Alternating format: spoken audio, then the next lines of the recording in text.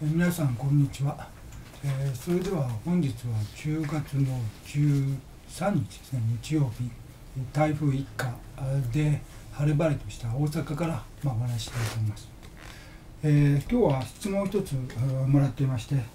いくつかなんですが1つ目真の親孝行についてどう考えますか、えー、2つ目偽善者と言われました。良いことをしてもその動機が不純だと良くないのでしょうか？動機と行動はどちらが大切ですか？3つ目仏教の輪廻転生思想において地獄という世界があると聞きますがそれは具体的にはどのような世界なのでしょうか？ということです、えー、この3つの質問のうちの最後のですね、えー、仏教の地獄界の思想というのを今日まず取り上げてみたいと思います。で仏教の輪廻転生思想には2つの解釈があります。1つ目それは神話的な解釈で実際にそういう世界があるのだというものですね。2つ目にそれはこの現実の世界、えー、にあり、えー、そして人の心の表れなのだという考えです。すなわち皆さんはその生き地獄とかああいう言葉がありますね。人間として生きててそう霊界としての地獄ではなくって、えー、地獄のような苦しい経験をするということです。で逆に言えば生き天国うん天国のようだっていうふうな印象を持つこともあります。今日はですねこの2つ目の輪廻転生の考え方、えー、要するに人間として感じる生き天国や生き地獄これは一体どのようなものだろうかということについてお話したいと思うんです。で現代で一つ注目すべきは孤独死という問題だと思います。一人孤独になってでつまり他人と接触したくない。一方その自分も好きじゃない。生きる意欲これが湧かない。で病気になってもそれをケアせずセルフネグレクト。それで死んでいくというものです。で仏教にはですねこれと似た概念。孤独な人の地獄。孤地獄っていうのがありますね。一人地獄っていうことです。まあ郊外に存在するなどと言われていますが孤地獄ね。一人地獄孤独死というものです。まあここら辺が生き地獄というのと通ずる現代的なシチュエーションなのかなと思います。孤独死に関して言えば年間3万人と言われていてついに自殺これを上回りました。自殺というのはある意味ではその日命を絶つという勇気があるが孤児獄は他人が嫌だと思ってる中で自分に関しても生きるこう動機がないという感じですがすぐに死ぬというわけではない、えー、そういう意味ではその自殺と並んで、えー、悲惨かもしれません、えー、その人の心の病というものを考えざるを得ない状況だと思います。なお孤独死ではありませんが、えーえー、孤独者というか単身者ですね、えー、の方はですねすでに日本は 35%35% 単身者。3人に1人以上が1人で住んでいるということです。どうですか？あ皆さん実感ありますか？いや自分1人で住んでるからでもそんなに多かったのかなと。それからまあ家族と住んでる方はえ3人に1人が1人住まい単身者、ね、でそれは間もなく40%に及ぼうとしています。ヨーロッパではドイツがすでに単身者先進国で40%に到達しているというわけです。40%って言うと2.5人に1人になりますか。ら相当なもんですね。人は大抵が人と共に生きる住むっていうんじゃなくて一人で住む時代になりました。ただその単身者の中で交際がない人これが15%いると言われています。交際がないっていうのは1週間も2週間も他の人と他人と話さないと。家族とも友人知人とも話さない。まあある意味で実質上友人知人がいないと言ってもいいのでしょうか。でそんな中でだんだん心を病んでいくってことですね。で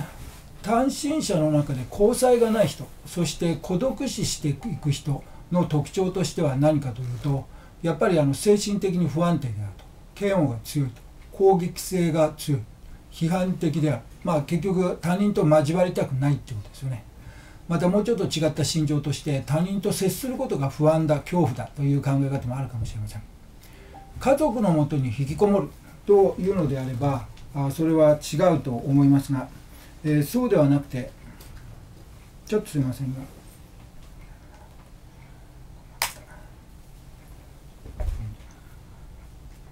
家族のもとに引きこもるっていうのではあのなくて、えー、まあ一人ということなんですが、まあ、引きこもり全体に共通するのはやっぱり他人と接する時に自分のうん要するにコンプレックスこれが露呈するというような不安とか恐怖嫌悪感、まあ、そういうものがあるんじゃないかなと思います。その人にいろいろな状況での嫌悪これがあるということですね。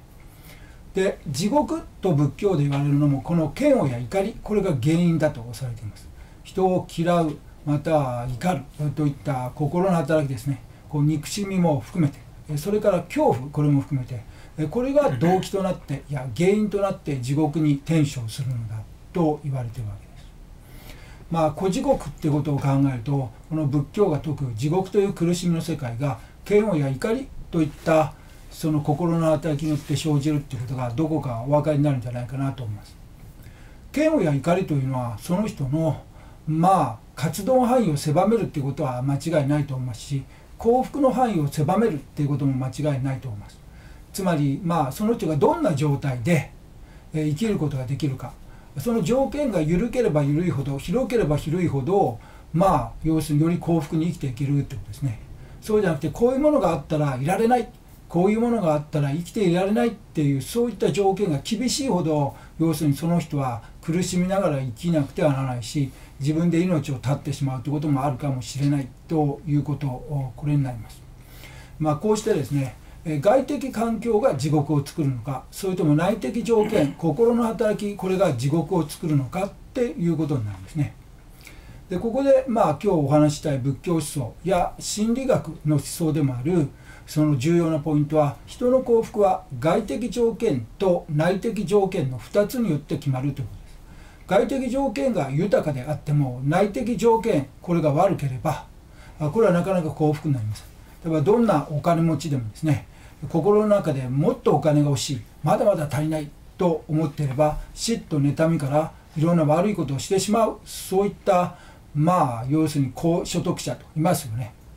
それから外的条件が悪くても内的条件が優れていればつまりすでに自分に与えられているものに対する感謝とか満足とかそれに基づく他者への愛っていうのがまああこう豊かであればあそれは幸福であるということができると思います。社会学的心理学的には人の幸福というのはその人の欲求の総量分の充足された欲求という考え方がありますつまり欲求の総量が 100, 100欲しいと思ってる人が、えー、その中で充足された欲求が50だと幸福度は半分ということですね。しかし欲求の量が10だとそして充足された欲求が50っていうかまあ50じゃなくて10分の10だったら100%幸福っていうことになるわけです。この公式にはですね人間がなかなか気に気が気づかない部分があるんじゃないかと思います。ただ現代社会はですね徐々にそれに気づかなければならない時期に来てるんではないかということができます。それはなぜかというと外的条件を改善しても改善しても人類社会がですね対極的に見て幸福になっていないという統計的事実がですね次々と明らかになってきてるわけです。例えば50年前昭和の時代と比べて日本人が幸福になったかどうか意識調査をしてあなた幸福ですかどうかっていう単純な調査ですが増えてないんですね。むしろ減ってる。なぜか、経済的にも技術的にも便利利便もうあの50年前よりも改善してるわけです。まあバブルの崩壊とかデフレがあったといってもやっぱり改善してるわけです。しかし改善してません。でこの傾向は日本だけではなくて大抵そのパーセンテージが上がらないと。幸福な人の割合のパーセンテージがあらあらあの上がらないっていうのは先進国社会では大体共通してるんではないかなと思われます。そしてこの期間におけるですね印象としてうん人間関係の問題が結構大きくなってきたんじゃないかと思います。それ人間関係の問題に起因する精神的な問題に起因するのはやはりメンタルな問題ですね。まあ要するに、えー、こう自分と他の人間関係や自分の社会的な位置づけその他あといったものにおいて、えー、めいってしまってですね抑うつ感情っていうんですか。あそういったあ気持ちが継続するうつ病とかそれからまあ外界他人との接点において不安や恐怖これが強まる不安神経症とか、まあ、そういったいろいろな問題ですね、えー、これは要するに自然の中にいた人間にあまり起こらない。今現在も自然の中にアボリジニ原住民の人にはそういった症状はあまり見られずいわゆる大都会病ではないかないし都市文明病ではないか。で先進国になればそういった問題が多いんではないかっていう視点から出てきます。で先進国には特に体の病気と心の病気の割合は心の病気の比率が高くなってるわけですね。途上国に比べると。それはまああの体の病気がねあのいわゆるあの医療技術の進歩によって改善したっていうこともあるがそれに比較して心の病気は治しにくいっていうことになるということかもしれません。が、まあ、ともかくそういった病気がちょっと増えてるんじゃないか。と現在日本はですねうつ病の人どのぐらいいるか皆さんご存知ですか？厚生労働省この資料を見ると通院している方は100万人強だと言われています。100万人強ですね。しかし WHO 世界保健機関これがですね要するに疫学的調査によって推定した総数は約500万人と言われています。えじゃあ通院してる人の4倍。通院してないの。うつ病ってなかなか通院すること自体難しい病気だ。ってね。自分で気づいてないというより気づいててもいきいけないとかいう例えば男性なんか結構多かったりなんかするんですよね。これでもだんだんあのうつ病は心の風邪とか言って一般化してきましたが昔は本当にそういった精神病の人がいると家族も丸ごと恥ずかしいみたいな日本の恥の文化で通院できないこともあるらしいんですが疫学的調査ってどういうことかというと、まあ、要するにアンケート調査するわけです。1000人2000人とか。でその中でそのアンケート調査に答えた中から明らかにうつ症状であるって人が分かってくるがそのパーセンテージっていうのをから換算すると日本1億3000万人の中で500万人ぐらいがうつ病なんだが通院してるかってなるとそのアンケート調査を見ても通院してない人がいるということですね。うつ病うつ病500万人。そして、えー、自殺23万人。で孤独死3万人。交際のない人15%などという数字を挙げるとこの現代都市文明っていうのはですね本当に健常なのかあ健康なのか特に精神面において、えー、それはあ非常に大きな疑問これがあるんじゃないかと思います。そういう人にとっては今この日本ですね21世紀の日本社会も生き地獄なのではないか。ですね、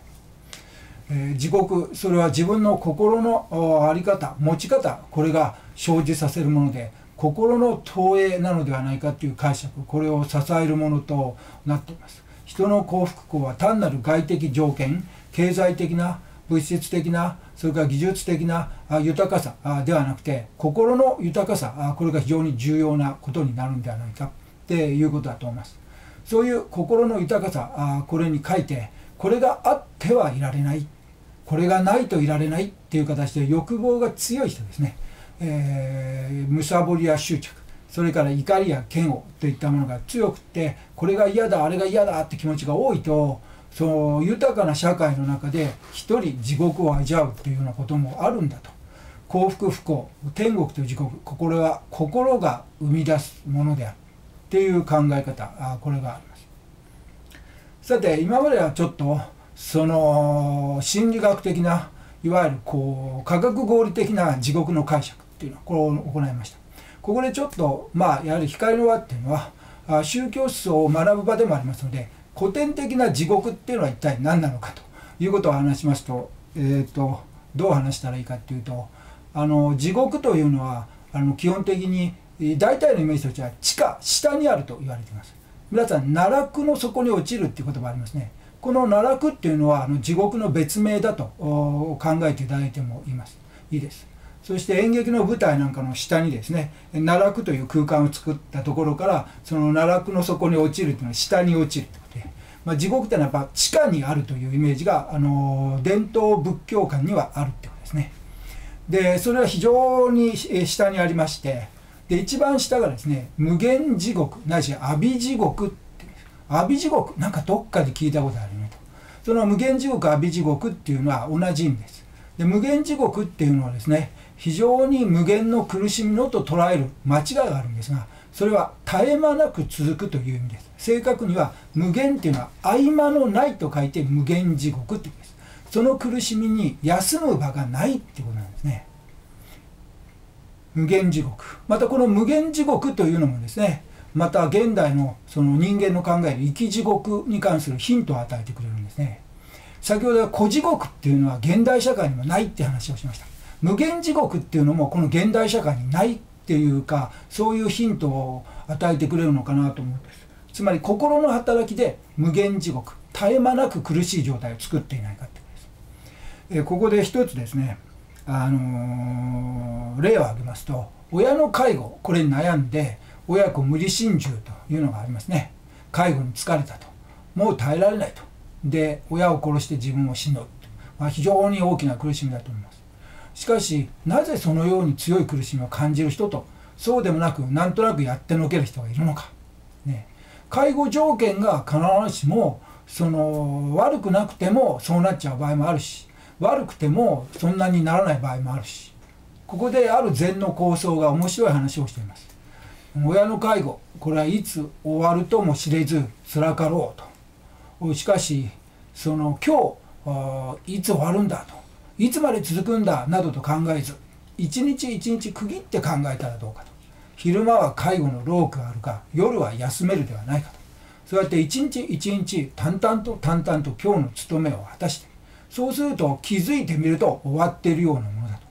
と。川の流れがタプタプと焦らず絶えまず毎日ゆっくりと流れていって気づいてみると大海に注ぐように。悟りというのも同じであるというふうに言ったことがあります。これから言えることは人間というのはですね今この時の苦しみだけじゃなくて将来のことを考えて勝手に不必要に将来のことを考えて苦しむと。今日一日の苦しみ1だとしてそして人生この後何十年か介護しなきゃいけない何十年か分をですね今日想像して考えて苦しんでると。そういったことをこれは不必要だが人間によく起こるっていうことですね。でここでまた仏教の考え方で無常というお釈迦様の教えがあります。全ては無常である。平家物語に出てくる祇園少女の鐘の声諸行無常の響きある。そう今の苦しみもいつかは終わる無常なものなんだ。ってことですね。ずっと続くってことはないんだ。にもかかわらず人間はですね今の苦しみがずっと永久に続くように錯覚してしまう。いつかは終わるんだっていう感じでそう先を考えすぎることなく今日の務めを淡々と果たすってことはちょっと苦手な部分があるんですよね。例えば恋愛失恋して今日は非常に苦しいと。しかし数ヶ月後それはだいぶ癒えてるだろう。昔自分が経験した似たような苦しみもそうだった、まあ、そういうようにですね自分の心を客観的に見れる人は無常の道理で苦しみを死ぬことができますがそうじゃなくて自分の心を客観的に見ることなく心と一体になって心に没入している人は今苦しんでる心がずっと続くかのように錯覚してしまうんですよね。そういったことがあるということです。まあこうして人間はですね今の苦しみだけじゃなくてですね未来の不安それから過去の後悔この2つで苦しむ部分があります。禅の里で今ここの悟りっていうのは今ここあるがままあるがままそれを楽しんでいきましょうっていう考え方とそうじゃなくて現代人が特に悩みやすい自分は過去になんでこんなことをしてしまったんだろうこんなことをしたら今自分はこうなんだということで、えー、一つ後悔と卑屈ですね。それから二つ目はですね未来への不安ですね、えー、こんなことが起こるんじゃないかって不安を持つ、ね、例えば寿命が延びたと。織田信長上杉謙信、えー、そういった時代は人生50年。ということですね、えー、だったけども今80年90年場合によって100年になったまあ長い老後に大きな不安みたいなイメージでですね、えー、最近よく読売新聞まあ私読んでるんですけどあるコラムにですね人生は50年から80年90年と言われるようになったがその老後というのは暗いとこういう感じで生きてもその美しく50年で散った謙信や信長に比べて果たして良い人生と言えるんだろうかっていう自虐的なコラムがありましたがまあ確かにそういうことは言えない言えるかもしれない。えー、ちょっと前にですね老後には3000万円の蓄えが必要だとか必要でないかってことでワイワイワイワイワイワイ言ってましたけどそういった不安ばっかりに長い、人生と老い後になったらば、まあ、認知症も怖いうつ病も怖い感情がコントロールできないんじゃないか。まあちゃんと面倒を見てくれるんだろうか老老介護になるんだろうかあニートの子供自分の息子はどうなるんだろうか。3,000万もないぞなんと考えてるうちにその長寿になった日本に長く暗い高齢期という感じになってしまうわけで。こういった将来への不安ですね。人間は今この時の苦しみや喜び、えその苦しみは苦しみでそれに耐えればいい。喜びは喜びで今味わえばいいんだがしかし未来の不安と過去の後悔。で後悔卑屈不安。ということで、えー、生きるんですね。そうするとですねいつも苦しいわけです。絶え間なく苦しいわけですね、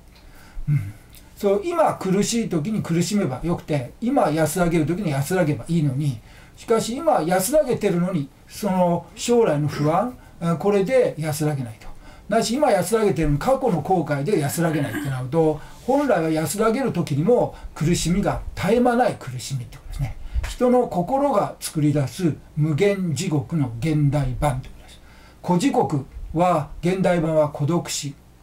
そして無限地獄これは現代版は後悔や不安といった未来や過去これを現在にこう混ぜこぜにしてしまう心理状態なんじゃないかなと思います。まあそういうことで現代版の無限地獄があるよってことなんですがまあ例えば先ほどの連禅の構想の話ですね。昼間その務めを果たし夜は休むことができるって言ってもですね休めないっていうのが出てくるんですよね。明日のことが不安で緊張してなかなか休めませんと。で不眠になって朝起きる。ここは無限地獄のプロセスですよね。あと後悔ですね。自分は何でこういうことをしてしまったんだろうと。後悔っていうのはですね、えー、まあとにかくいつでも悪い意味でできるものだし不安っていうのも悪い意味でいつでもできるものなんですよね。だからそれはやっぱり心をコントロールするしかないと思うわけです。まあそういった形で外的条件はどんどんどんどん良くなっているがそれに対して心をコントロールする知恵や技術は全く進んでないかどちらかというと衰えているのではないかということを感じさせる現代社会は外的条件が改善されているのに幸福感は増さない。むしろメンタル心の問題が増えているということです。ここを私たちが気づかなきゃいけないのは外的条件の改善ばっかり追い求めてても内的条件すなわち心をコントロールする術っていうのを、あのー、本格的に探求しないと人類はこれ以上幸福になれないのではないかっていうことです。2500年前に生きたお釈迦様はそのことにも気づいていたんだと思います。で今言ったことは2500年前にも当てはまることなんだと思います。ただしこの現代2500年後のこう現代になるとますます当てはまるっていうんですね。うんまあ途上国のように特にそのうん後発開発途上国っていうんですか。いわゆる LLDC ですね。飢えてるそれから乾いてる疫病である戦争であるっていうことであればですねやっぱりそういった外的条件というのは整えてで日本みたいな社会になることがみんなが幸福感これが増していくってことではないかなとも思いますね。しかしまあ現代の先進国のレベルに到達すると飢餓とかあその戦争とかそれからまあ感染症とかあ全くないとは言いませんがまあ要するにその民主社会の福祉制度によって健康で文化的物質的経済的生活はまあ一応保障されてるし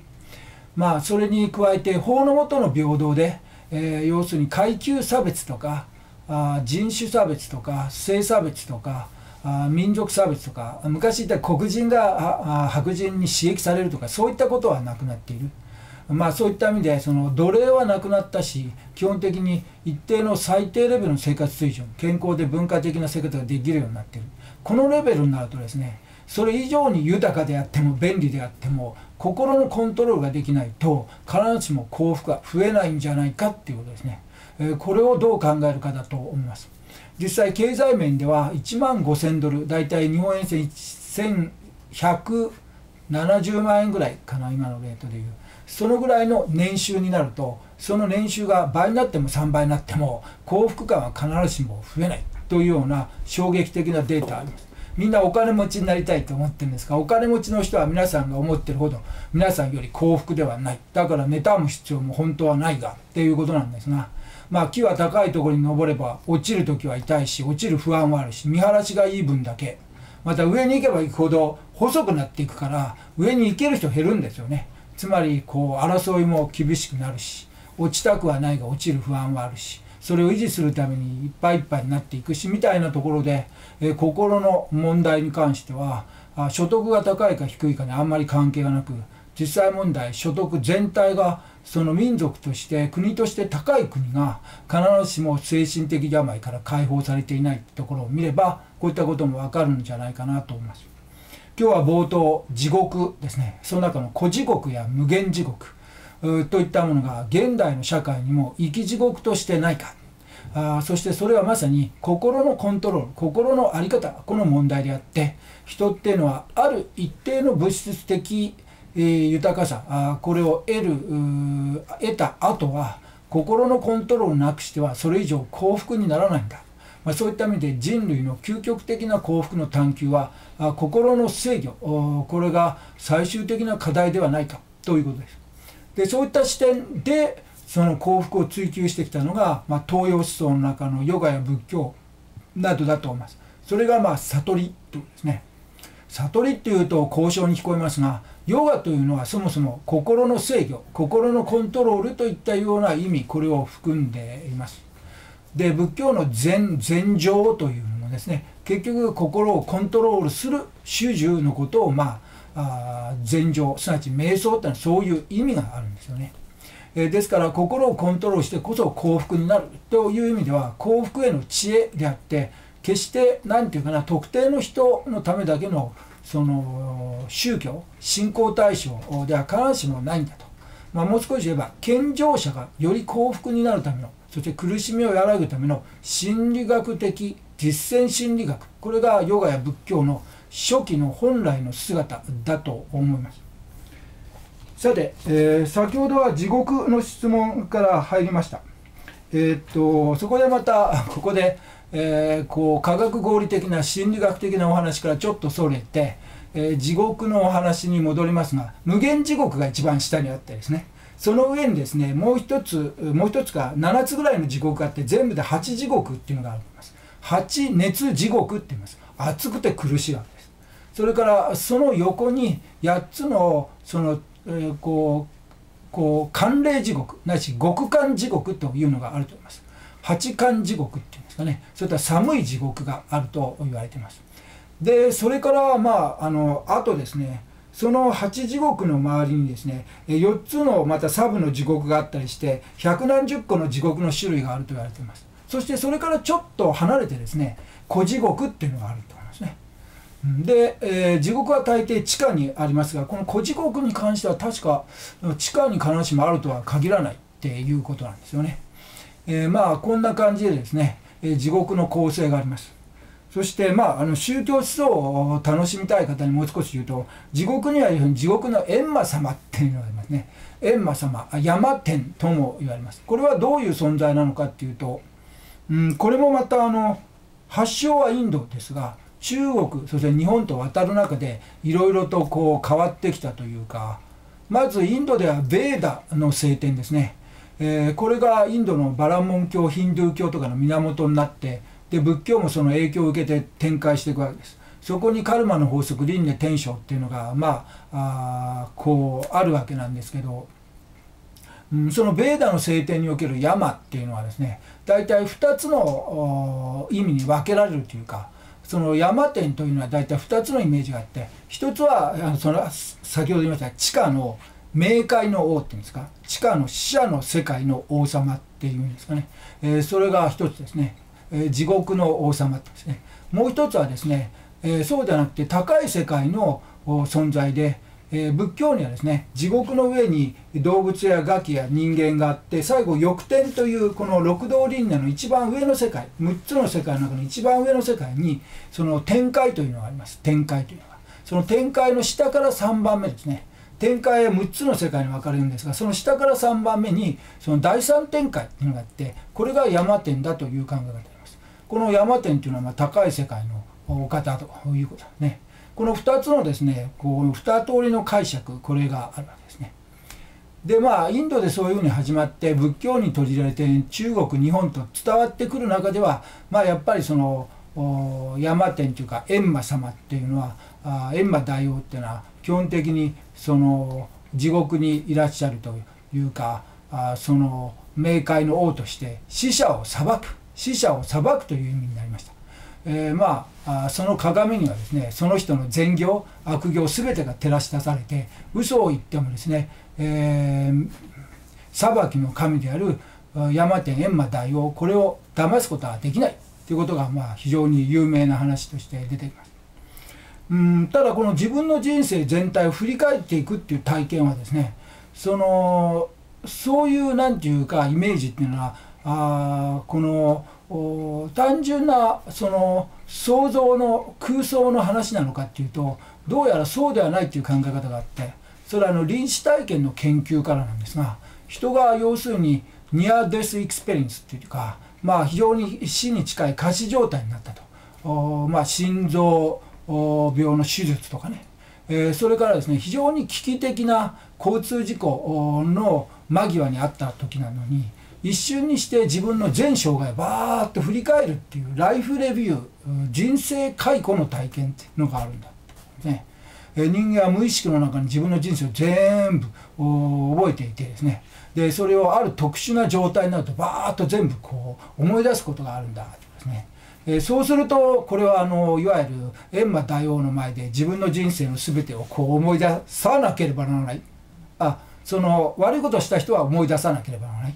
いいことをした人はまあこう思い出すことができるってことになるんですがまあそういったことになりますがそういった何て言うかスピリチュアルなですね、えー、体験点ですかあそういったものがベースになってそのそういった地獄での閻魔様のですね、えー、鏡に映されたあその前後悪行の振り返りですかそういった話が出てきたんじゃないかとも考えられるんですがまあそういったことでですねうんカール・ユングっていう心理学者がいます。カール・ユングっていう心理学者はあ人が体験するその何て言うかあ宗教的、えー、なあ来世っていうんですかね。まあそういったインドの行者がですね瞑想に入って深い瞑想サマディの中で、まあ、その来世のことを体験するとか六道輪廻のことを体験するっていうそういった、まあ、あのヨーガ体験があるんですが、まあ、バルドーのヨーガなどとチベット仏教で言われてます。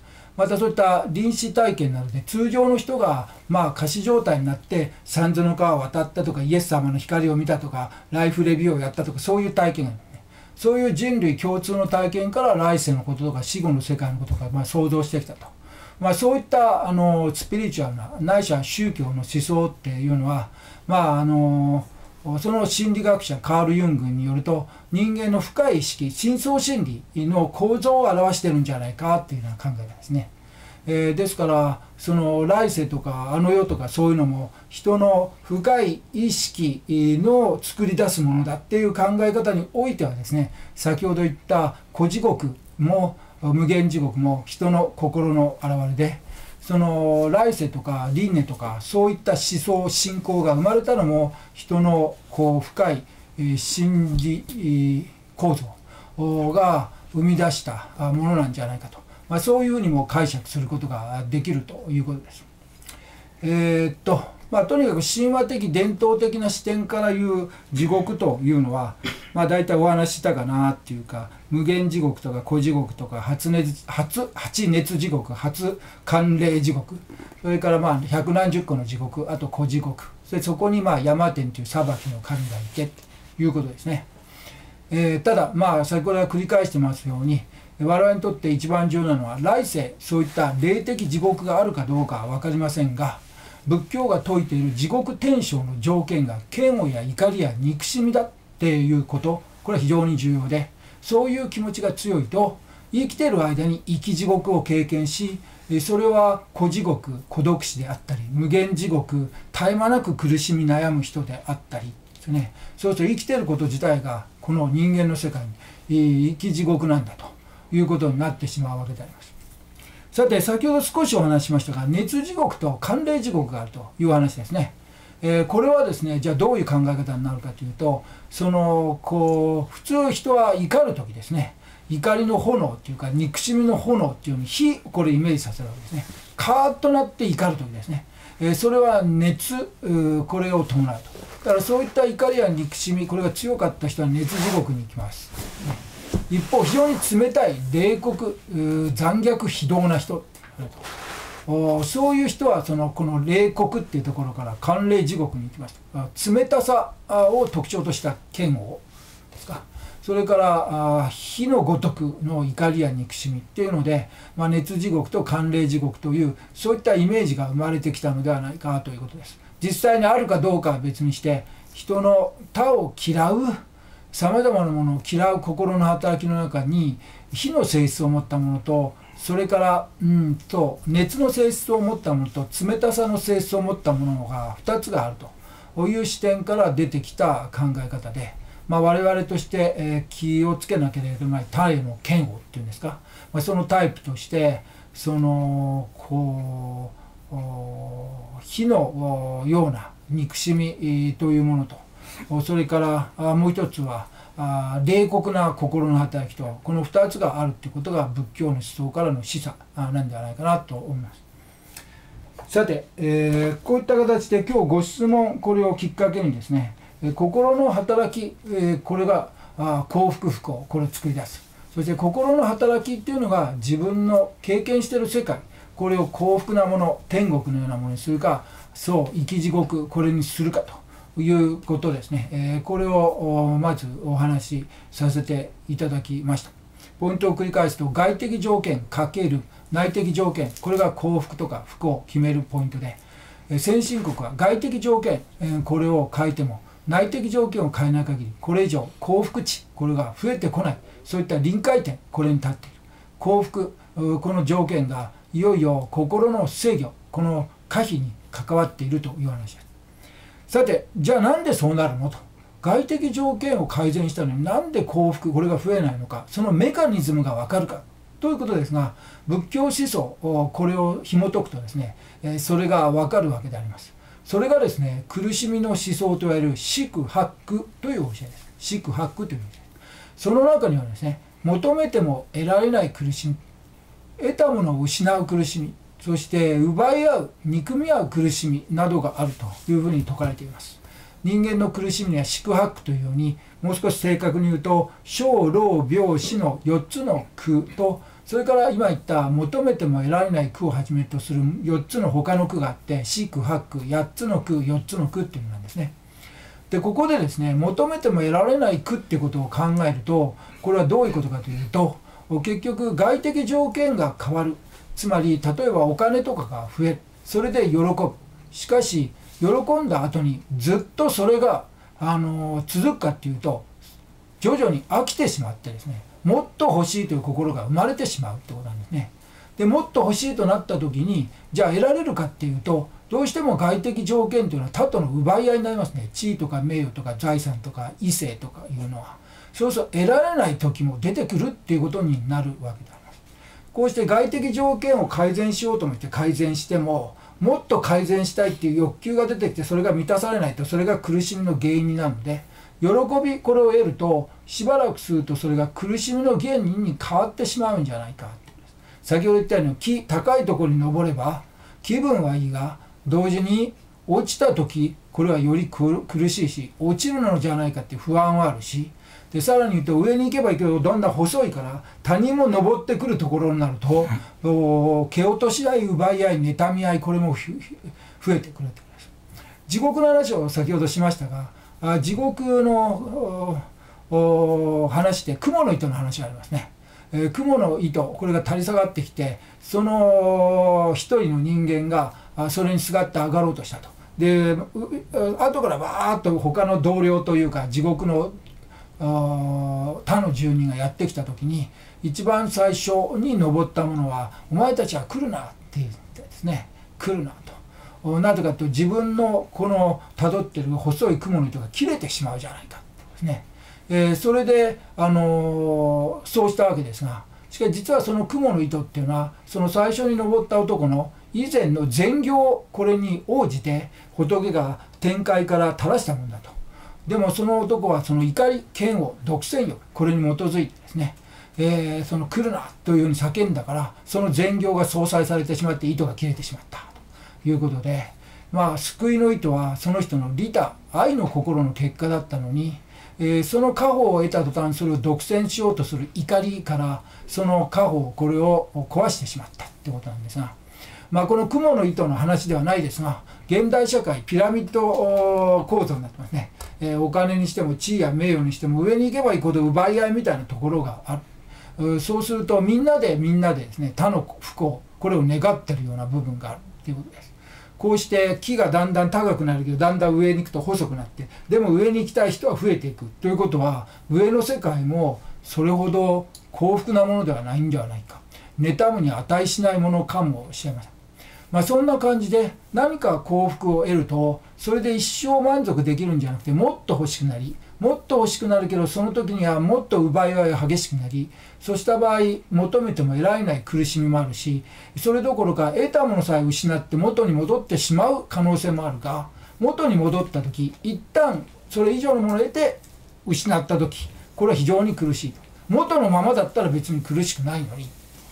木登らない人はそのまま苦しみはないが登ったら落ちる時はそれは確かに苦しいということで。まあこういったことでですね外的条件が良くなったからって良くなると逆に言うと内的条件が悪化してしまう可能性があるということですね。人は得れば得るほどですね外的条件が変わるほど内的条件つまり心の中の欲求も増大してしまうんだと。お金持ちになったらおか必要なお金の量が増えてしまう。そうすると結局幸福にならないじゃないか。外的条件が増えながらも内的条件がとどまる変わらないかそれとも何ていうか逆に改善すればいいですよね。お金持ちになればなるほどお金に対する欲がなくなって多くの人に分け与える気持ちが出てくるっていうならいいんだけど人間得れば得るほど欲望も深くなってしまってもっとなくちゃいられないないしは昔のままでは今はいられないっていうことで内的条件が悪化してしまうっていう現象が起こるからダメってことになる。そうすると外的条件を良くするってことは内的条件を悪くするっていうことだから幸福にならないじゃないかってことが出てきてこれがブッダが説いた真の幸福はやはり心のコントロールによってしか得られない言い換えると苦しみは煩悩これが原因で、えー、幸福は煩悩の制御これが決め手になり外的条件を改善すると心の条件煩悩が増大してしまい結局相殺されるんだっていうんですね。つまり幸福になるための決め手となる独立した条件は心の制御しかないと。要するに外的条件これを変えてもそれは独立してない独立してないっていうのは外的条件を良くすると内的条件が悪化してしまうのでその独立した幸福への条件じゃないと独立した幸福への条件っていうのはそれさえ変えれば絶対その分幸福になるのは独立した幸福の条件です。えしかし外的条件は独立してない、えそれを、あの変えてもですね、え幸福度を結果として相殺してしまうことが別のところで起こってしまうっていうことなんですね。だから独立した真の幸福の条件。これは内的条件心の制御だっていうそういった公式ですね。基本思想っていうのが仏教や用語の心の科学心理学ですね。心理分析によって、まあ、得られるわけです。じゃあなんでそれが分かってるのにこの2500年間人類はずっと外的条件をこう変えてこようとしたか。まあ普通はですねやっぱり外的条件を変える方が優しいと考えるっていうのかな。またそれから今この現代社会に至るまではですね外的条件の変更が内的条件を悪化させるから意味がないっていうほどまでにはあの独立性がなかったわけではないわけです。例えば上とか乾きという絶対的な外的不幸ですね。これが解消されることはやっぱり必要だったわ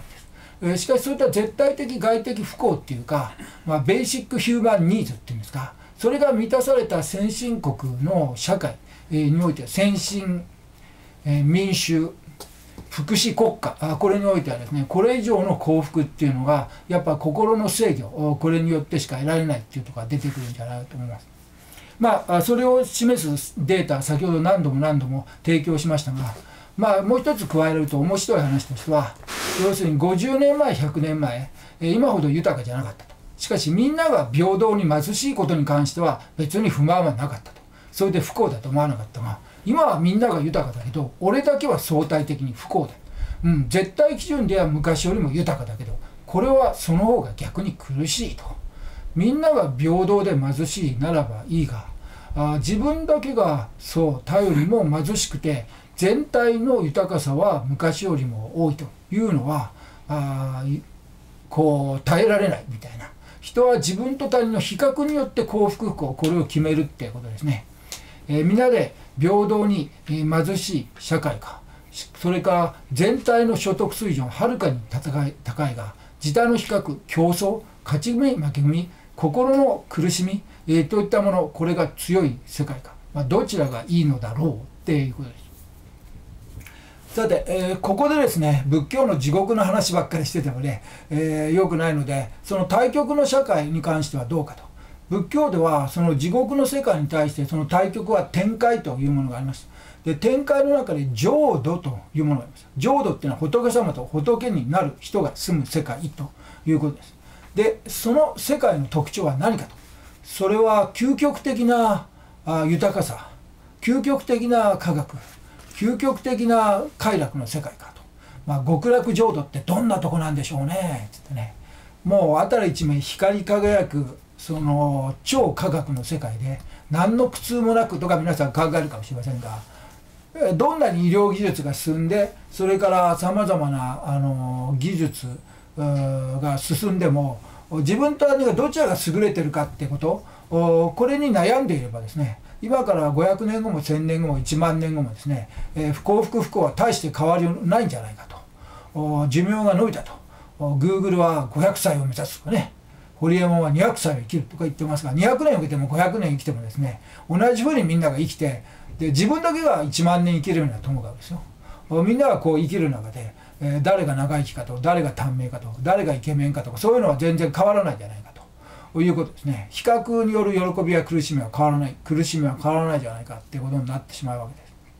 ということですからその本当に極楽の世界すなわちみんなが幸福の世界があるとしたらそれは単純に外的条件が完璧なわけではなくてもっと違ったところがいいことなのではないかと推察できるかもしれません。で仏教の人はまさにそうでその極楽をはじめとする浄土。あごめんなさい。浄土っていうのはあもう一回言いますが仏と仏になるものの世界です。でそしてあの浄土というのはたくさんあります。で浄土の中の一つがその極楽という名前の浄土なのです。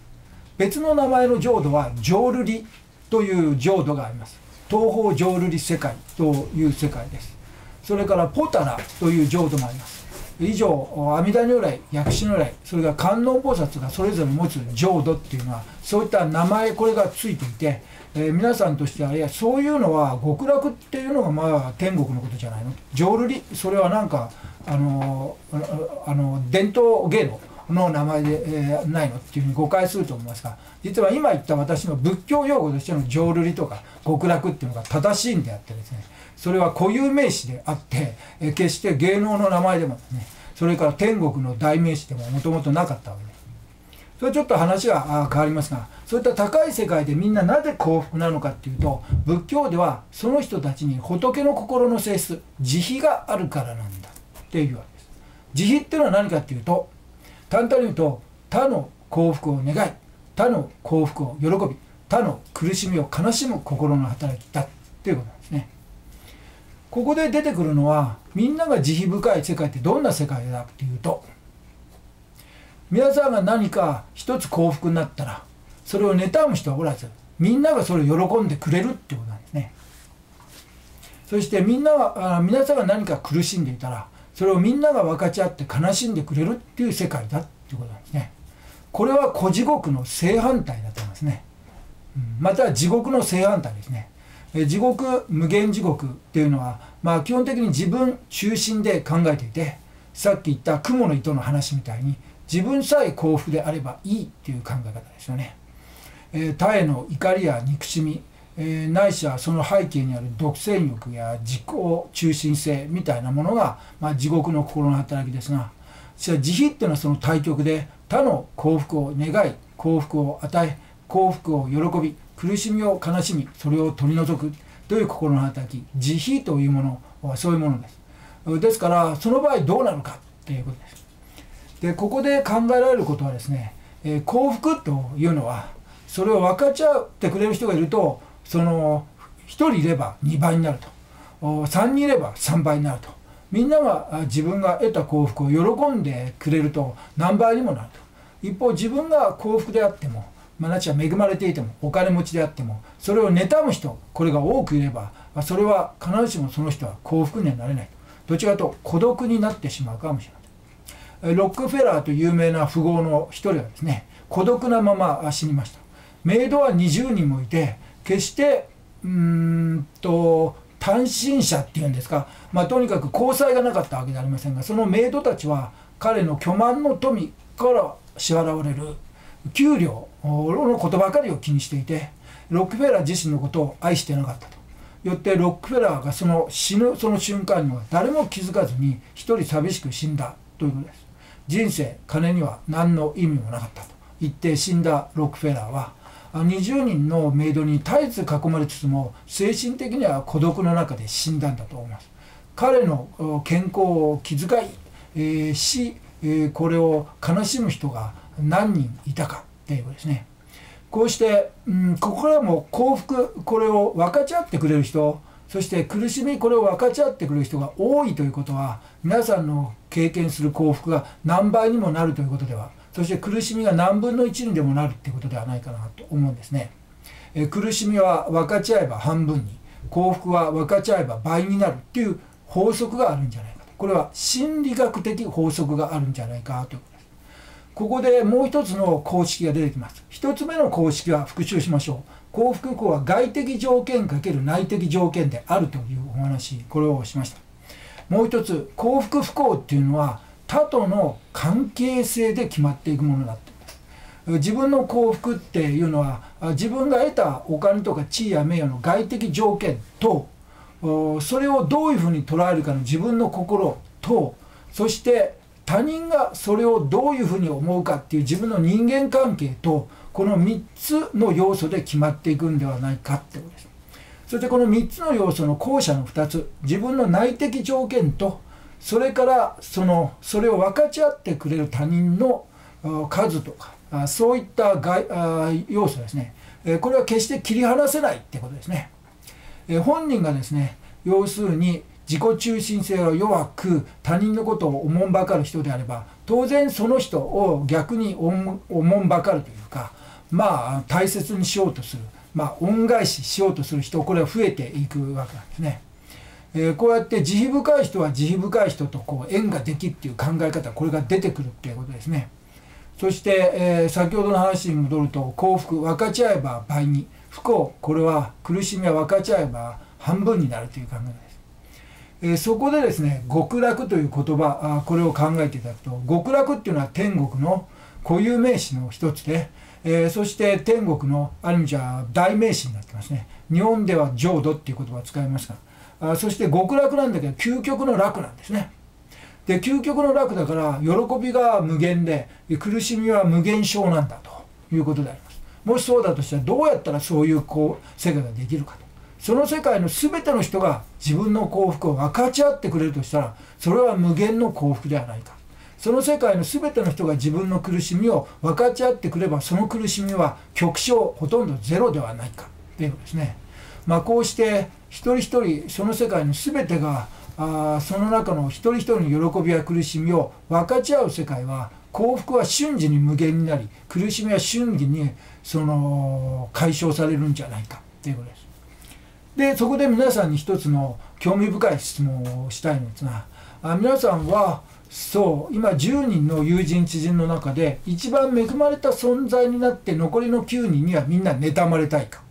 それとも皆さんはその10人の中でですねその外的条件としては一番恵まれないがしかし他の9人に皆さんのちょっとした昇進ちょっとした豊かさちょっとした成功これをみんなで心から喜んでもらいで皆さんのさまざまな苦しみつまり恵まれないわけですからあそれに関してそう共に悲しんでもらえるその状況だったらどちらを選びますか？ということですね。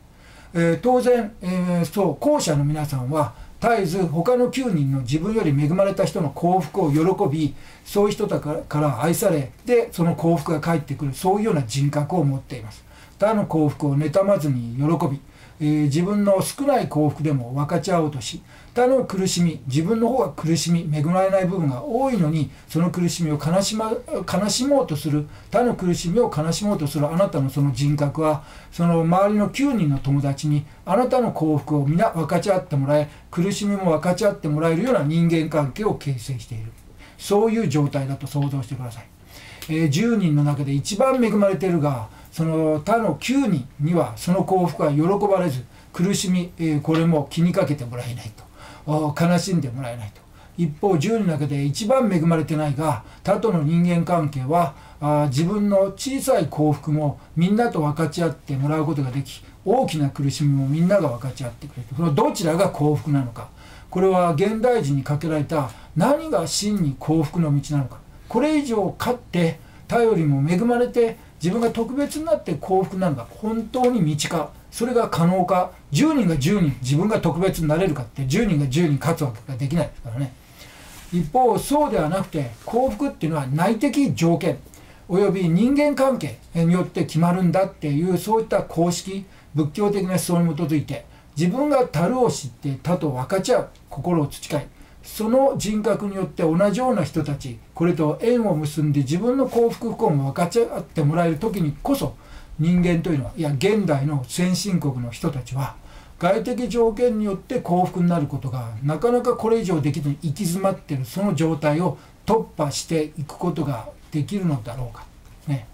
えー、自己中心性の心をコントロールして、えー、自費利他の心で生きてで利他を中心とした人間関係によって小さい幸福を何倍にも増やしそして大きな苦しみを何分の1にもしていくっていうそういったこと。全て幸福不幸は現代社会は未来社会に向けて心が作り出すものではないか。っていうですね。心と心に基づく人間関係。これによってできるものではないかなと思います。孤児国の話ですね。そして孤独死の話ですね。これは幸福不幸を分かち合うことができなかったわけですね。その人は他との接触が嫌でですね。他が自分より優れてと。嫌、えー、他と接触して自分がコンプレックスを感じると嫌ってことで引きこもってしまったのか。とにかくそんな感じ。そしてそういうような自分にした社会をどっかでに、えー、憎んで恨んで攻撃的でで一人になる。でもそうやって他に認められない。それ他を愛せない自分、うん、これを見ても自分でもそういった自分を愛することができない。愛することができないからセーフネグレクトになって孤独してしまう。まあ他人も嫌い自分も嫌い人間が嫌い生きることを価値見出せないってことで緩やかな自殺孤独死これに入っていくっていうことです、え、これは幸福不幸を分かち合うことを究極的に失敗した結果なんじゃないえこの一つの例を見てもですねその逆の幸福不幸を分かち合うことに究極に成功した人たちの世界が極楽というんじゃないか。慈悲か嫌悪か。これによって幸福不幸が決まるんじゃないか。あそれがまあ仏教ヨガ。これが現代の社会。そして近未来の人間社会、えー、これに送るメッセージなんではないかと思います。幸福不幸。これは外的な物質的な条件だけではなくて自分の内側の心の条件。そしてそれと連動する人間関係ですね、えー、これによって、生じるんじゃない、ということです。外的条件だけを追い求めても空回りし、えー、内的条件が悪化してしまえば当然それと連動して人間関係も悪化し、うん、膨大な幸福も妬む人たちによって削り取られて、うん、みすぼらしくなりあのどんなダイヤモンドを手に巻いていてもですね炭素の結合体であることには変わりありませんからそれを共に喜んでくれる人よりも妬みに憎む人の方が増えてしまえばもともとそんなの石ですからねどうしようもないんです。それぐらいだったら夜空に瞬く星々のきらめきの方が本来的には星っていうのは偉大な大きな存在ですからね小さく見えてもそしてみんなで喜ぶことができますからね。また同じようにですねそのマイホームやマイカーがどんなに大きくてもですね自然から見れば宇宙から見れば消し粒ほどの価値しかありません。それよりも雄大な、まあ、例えば富士山とかね、え、それは自分だけのものじゃない。逆に言うとみんなで楽しむことができるものですがあそちらを見てた方が心が広くなり幸福を感じるかもしれない。一体何が幸福不幸この原因なのか。心の科学心理学ともいわれるヨガや仏教の思想これに基づいて外的条件内的条件人間関係上の条件といった多様な要素を考えてそれをうまくバランス取らないとあまりにも外的条件の獲得競争これに没入してると結局空回りしてなんか分かんないけどスマホもパソコンも便利になったがどうも幸福にはなってない。という結末が50年後も100年後も続くんじゃないかってことは考えた方がいいかな、まあ、そういう時代になってきたと思います。さて、えー、先ほどですねあの冒頭に3つの質問があって親孝行についてどう考えたらいいかと。いうと偽善者と言われたっていう質問これがありました。これはですねちょっと一旦休憩させていただいて公開ネット生中継の後の来場者の皆さんを中心としたまあ第2部でお話したいと思います。第1は公開ネット生中継で、お送りしました。あご覧いただいた一般の視聴者の皆さん長らくお疲れ様でした。ありがとうございました。